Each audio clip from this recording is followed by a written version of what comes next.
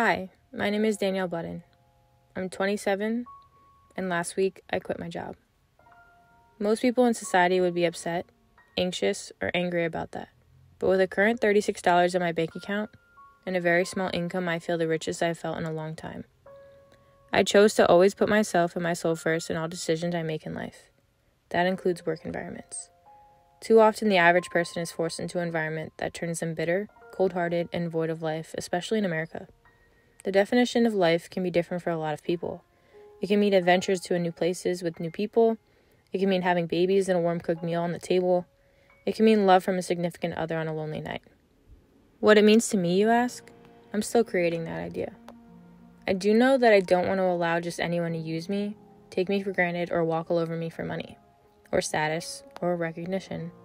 The only recognition I need is from my own heart and the feeling in my soul when I give it life in all forms of the word. My vision is not for anyone else to understand because it is mine alone, just as your vision is yours and for you alone. The one thing, though, I must say is for us all to walk alone in our visions, we must walk together first. Love is lacking everywhere and as someone who loves so deeply, it hurts to go through a world that praises you for tearing each other down. A world where a boss can make you hate waking up in the morning, but then make you love them for giving you monetary gain at the end of the week. This is not a world I aspire to live in. This does not mean I'm ungrateful for life. It's quite the opposite. It just means my idea of life is very different from the world we live in today. With that thought, do you think we all can be happy in today's world?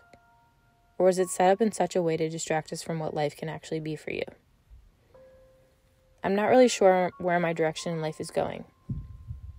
I have a couple goals and plans because those are always important, but I know one thing's for sure I will only ever do the right thing for my soul and the souls of my loved ones around me. I will only do things that aid the greater good and create love and balance in the world around me. No amount of money, status, or greed is worth my soul and happiness I have within me. I hope we can all follow our souls and listen to how our environments make us feel. Don't ever be afraid to do what's best for you. Leaving a negative situation you think you need will only open up doors for an even better situation in the future. I love you all very, very dearly and think with your souls.